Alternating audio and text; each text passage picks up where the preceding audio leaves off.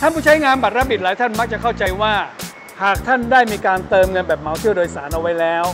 จะไม่สามารถเติมเงินได้ ไม่นะครับ ผู้ใช้งานบัตรรับบิดสามารถเติมเงินได้ทั้งสองฟังก์ชัน เติมเงินแบบเหมาเที่ยวหมายความว่าอย่างไร เติมเงินแบบเหมาเที่ยว เช่น 15 เที่ยว415 บาท 25 เที่ยว 725 บาท มันจะคุ้มมากเลย แต่เมื่อท่านเติมเงินแบบนี้เรียบร้อยแล้ว ท่านก็ยังใช้บัตรรับบิดเพื่อใช้ในการซื้อของตามที่ต่างๆ ได้ ทุกครั้งที่ท่านเติมเที่ยวโดยสาร ก็อย่าลืมเติมเงินทำให้อำนาจในการจับจ่ายซื้อของตามร้านค้าตามห้างต่างๆเนี่ยสะดวกเสมือนหนึ่งพกเงินสด ที่ตู้นี้ท่านใช้เงินสดในการเติมเที่ยวโดยสาร หรือเติมเงินก็ได้ แต่ถ้าหากท่านต้องการจะใช้บัตรเครดิต ท่านจะต้องเติมทั้งเที่ยวโดยสารและเติมเงินพร้อมกันนะครับ ที่ห้องจำหน่ายตัวโดยสารครับ เวลาเดินทางไกล แบบเที่ยวโดยสารคุ้ม